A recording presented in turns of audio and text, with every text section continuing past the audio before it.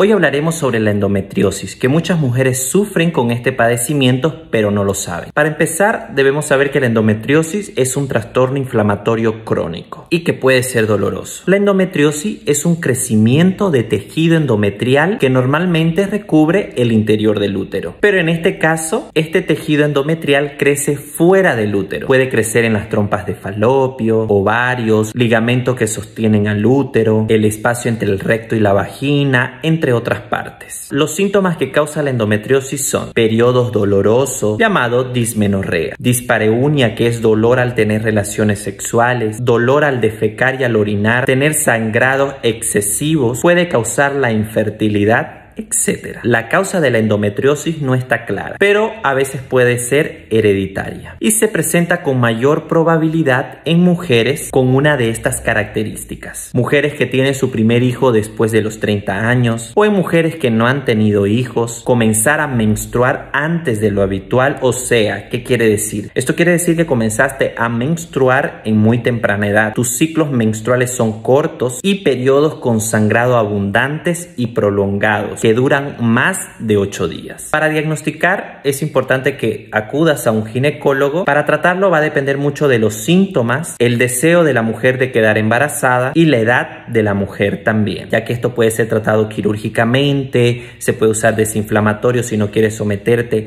a una cirugía, también se puede usar los anticonceptivos para disminuir el crecimiento endometrial, pero esto no quiere decir que se soluciona del todo. Lo más factible sería la cirugía y todo eso va a depender de la y de los síntomas que ella presente. Doctor David informa.